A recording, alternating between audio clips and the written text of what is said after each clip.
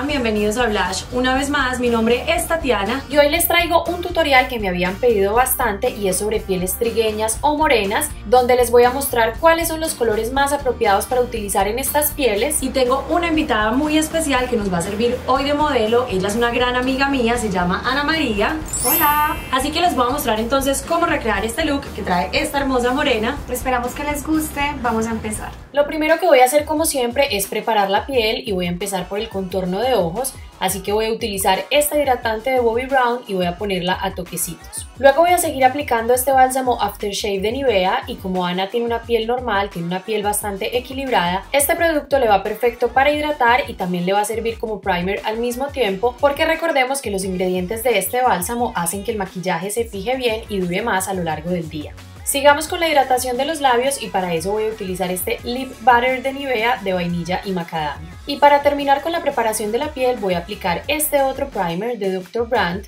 este es un producto que nos ayuda a mejorar la textura de la piel, a disimular la apariencia de poros y pequeñas líneas de expresión. Voy a aplicarlo entonces a toquecitos en la zona T y alrededor de la nariz. Pasemos a la base y hoy voy a utilizar esta de L'Oreal que me encanta, esta es la True Match le voy a aplicar el tono W7, que es un tono cálido, y esto es súper importante para las personas trigueñas y de pieles morenas, utilizar siempre bases y correctores que sean en tonos cálidos y con subtono amarillo. Recuerden que tengo un tutorial de bases donde les amplío mejor esta información y les doy varios tips, se los dejo por acá arriba en los sugeridos.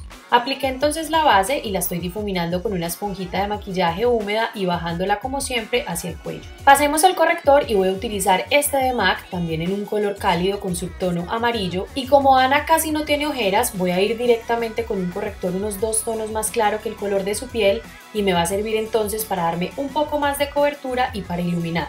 Lo pongo en la parte de abajo de los ojos y en la parte media de la cara pero recuerden que si necesitan hacer corrección de color en las ojeras deben utilizar correctores naranjas y para ojeras más oscuras correctores con fondo rojizo. Apliqué entonces el corrector y ahora lo estoy difuminando con la esponjita de maquillaje húmeda para fundirlo con la base. Para sellar el corrector y la base voy a utilizar este polvo translúcido de Laura Mercier. Voy a empezar sellando el corrector de la parte de abajo de los ojos y recuerden siempre antes de hacer este proceso estirar muy bien el corrector para que no quede acumulado en los pliegues y con el resto de polvo que me queda en la esponja voy entonces a sellar el resto de la cara. Pasemos a los ojos y lo primero que voy a hacer es aplicar un primer, voy a utilizar este Paint Pot de MAC y voy a aplicarlo a lo largo de todo el párpado, este producto nos ayuda a emparejar el color de la piel en este sector y también a que las sombras se fijen mejor. Y luego para sellar este primer voy a utilizar este polvo beige de mi paleta de contornos de Kat Von D y voy a aplicarlo con un pincel de difuminar.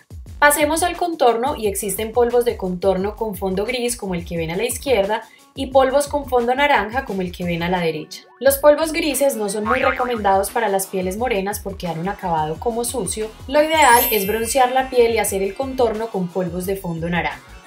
Vuelvo entonces a mi paleta de contornos de Kat Von D y voy a utilizar en Ana este polvo con fondo naranja que es el más oscuro de la paleta y con una brocha redonda voy a aplicarlo alrededor de la línea del pelo para broncear un poco la piel. Voy a aplicarlo también debajo de los huesos de los pómulos para afinar un poco más las facciones y a lo largo de la línea de la mandíbula y siempre bajándolo hacia el cuello para emparejar el color con el resto del cuerpo. Con el mismo polvo pero ahora con un pincel de difuminar de ojos voy entonces a hacer el contorno de la nariz trazando dos líneas al lado y lado del tabique. Voy ahora a aplicar el polvo amarillo de la misma paleta y lo voy a poner en la parte de arriba de la nariz y en la parte media de la frente para acentuar un poco más la iluminación y luego voy a aplicar la técnica del baking y lo voy a hacer en el contorno de los pómulos para definirlos un poco más y lo estoy haciendo con una esponjita triangular y el polvo translúcido de Laura Mercier.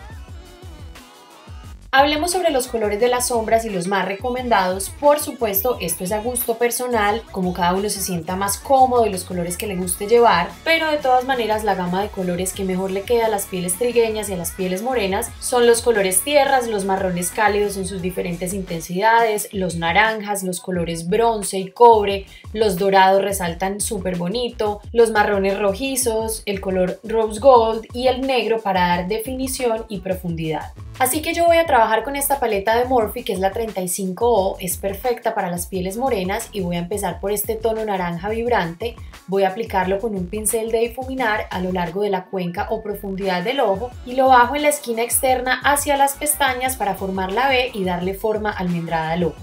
Voy a seguir con esta sombra en color cobre de acabado metalizado súper brillante y voy a aplicarla con un pincel plano de pelo sintético a lo largo de todo el párpado móvil. Estas sombras de Morphe son súper pigmentadas así que se las recomiendo un montón y luego con el pincel de difuminar integro este color con el color de la cuenca. Voy a seguir con esta sombra café oscura, es un tono chocolate intenso y con un pincel plano voy a aplicarla en la esquina externa del párpado móvil bien pegadita a la raíz de las pestañas y luego paso con el pincel de difuminar y voy subiendo la sombra hacia arriba hacia la cuenca para terminar de marcar bien la B y darle profundidad al ojo. Voy a seguir con esta sombra beige clara de MAC y la voy a aplicar en el arco de la ceja para iluminar y luego paso con el pincel de difuminar e integro este color con los colores de la cuenca.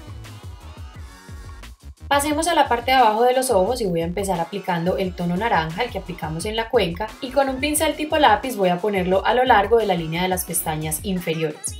Luego con un pincel plano voy a tomar el color café oscuro y voy a ponerlo bien pegadito a la raíz de las pestañas para darle más definición al ojo. Y por último, para terminar de dar ese efecto smoky, voy entonces a pasar con el pincel de difuminar e integro ambos colores. Voy ahora a delinear la línea de agua inferior y para eso voy a utilizar este delineador beige de Inglot que como Ana tiene los ojos más bien pequeños, esto nos va a ayudar a que se vean más grandes y más despiertos. Luego voy a seguir rizando las pestañas como siempre y este paso es fundamental para que se vea más abierta la mirada y luego voy entonces a aplicar máscara de pestañas, voy a utilizar esta de L'Oreal que me encanta que se llama False Lash Telescopic y voy a poner varias capas en las pestañas superiores e inferiores. Sigamos con uno de mis pasos favoritos y son las pestañas postizas. Hoy voy a utilizar en Ana estas de Ardell que son las Demi Wispies y este paso es opcional pero a mí me parece que le da mucha expresión a la mirada. Sigamos con las cejas que también son muy importantes porque son el marco de nuestros ojos y voy a utilizar este kit de NYX que trae dos polvos para rellenar y una cera y en Ana utilicé el tono más oscuro. Si quieren ver un tutorial de cejas con más detalle también se los dejo acá arriba en los sugeridos. Y por último para fijar las cejas voy a utilizar este gel de Benefit que se llama Give Me Brow. Pasemos al tema de los iluminadores y en este caso la recomendación es evitar los tonos fríos, los tonos muy blancos, con fondo azul, rosado o violeta. Por el contrario, los tonos que mejor le quedan a las pieles morenas son los iluminadores en colores dorados y champaña. Así que yo voy a utilizar este Glow Kit, este kit de iluminadores de Anastasia, voy a mezclar estos dos colores y voy a ponerlos en los puntos de luz de la cara, en la parte alta de los pómulos, llevándolos hacia arriba, hacia la ceja, en el tabique y punta de la nariz, en el labio superior y en el mentón. Y ya es hora de retirar el baking, así que voy a utilizar una brocha Duo Fiber de pelos suavecitos y voy a barrer el exceso de polvo que puse en el contorno de los pómulos.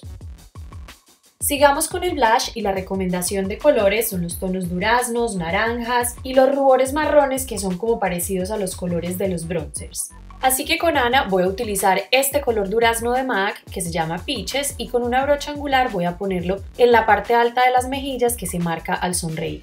Sigamos con la recomendación en colores de labiales y a las pieles morenas y trigueñas les quedan súper bien los tonos naranjas y rojos vibrantes, los vino tintos, los burgoña, los marrones oscuros, el fucsia también resalta muy bonito y en los nudes es ideal utilizar los que sean en tonalidades cálidas. Para ir terminando el maquillaje de Ana, sigamos entonces con la boca. Lo primero que voy a hacer es delinear los labios y voy a utilizar este lápiz de Essence que es en un tono nude cálido, como les mencionaba, muy parecido al color de su piel. Para rellenar los labios voy a utilizar este Lippy Sticks de Colourpop, es un tono nude también con fondo cálido, es de acabado mate, se llama Parker. Y para darle un toquecito de brillo a la boca voy a aplicar en la parte media de los labios este Butter Gloss de NYX este también es un tono nude con fondo cálido, es el color creme brulee. Y ya para terminar voy a fijar el maquillaje y voy a aplicar este Fix Plus de MAC. Y así nos queda entonces nuestra modelo, este es el look final. Y así llegamos entonces al final de este tutorial de pieles bronceadas, de pieles morenas. Espero que les haya gustado y que hayan aprendido muchos truquitos y muchos tips para destacar cada vez más su belleza. Recuerden que también pueden seguirme por mis otras redes sociales, Instagram, Facebook y Twitter. Y no olviden suscribirse a este canal para que no se pierdan ninguno de los tutoriales que se vienen. Les mando un beso, hasta la próxima y chao.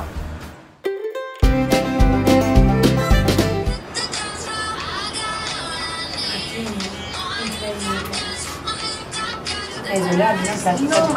la pastilla. Todo aprendí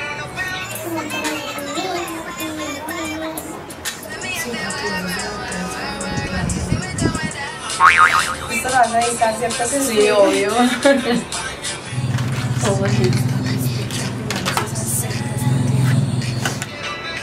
Ahí ya estamos grabando.